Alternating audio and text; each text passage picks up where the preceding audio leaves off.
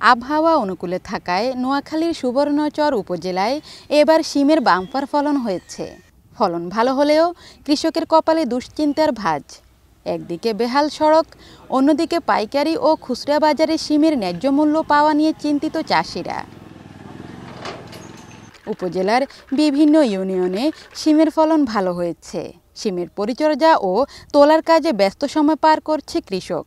তবে রাস্তা ভালো না হওয়ায় শিম সময় মতো মোকামে নিতে পারছে না কৃষক। আবার একই সমস্যায় শিম সংগ্রহে আসতে পারছে না পাইকাররা। প্রচুর ফলন হলেও তাই ন্যায্য মূল্য নিয়ে শঙ্কায় শিম চাষিরা। সুবর্ণচরের সড়ক ব্যবস্থাটা খুব ভালো থাকতো তাহলে আমাদের কৃষকরা ন্যায্য মূল্য পেত। যে সড়ক ব্যবস্থা সড়ক ব্যবস্থা খারাপের কারণে আমরা দাম পাইতেছি না। আমরা কোনো পাইকার পাইতেছি না কোনো দাম পাইতেছি না।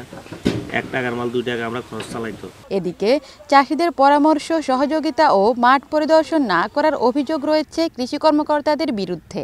সরকারি লোক কোনো আসে আমাদেরকে দেখে না তারপরে কোনো যদি পোকামাকড় আক্রমণ হয় আমরা যা মনে তা করি কোনো ফল বেশি হয় কোনো সময় কম হয়। এছাড়া কৃষি অধিদপ্তরের বিপণন বিভাগ থেকে দাম নির্ধারণেরও দাবি জানান চাষিরা। গেছবারকার তুলনায় এবছরকার সিমের দাম অনেক বেশি আর এবছর ফলনও বেশি। এবার ফলনই খুব ভালোই ইয়ে করতেছি। আলহামদুলিল্লাহ আল্লাহর রহমতে ভালো হয়েছে।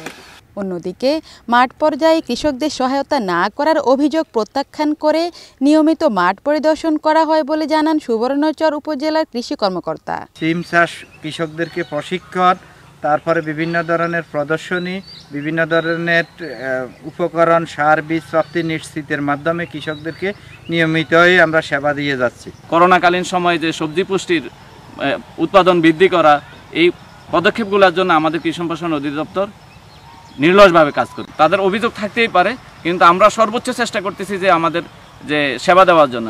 চলতি বছর উপজেলায় এক হাজার তিনশো হেক্টর জমিতে সিমের লক্ষ্যমাত্রা থাকলেও আবাদ হয়েছে দুই হাজার একশো হেক্টর জমিতে। এতে প্রায় ষোলো হাজার আটশো মেট্রিক টন উৎপাদন হবে বলে আশা করা হচ্ছে। এর মধ্যে দুইশো হেক্টর জমিতে হয়েছে আগাম সিমের চাষ। Sanjida Sultana global television news desk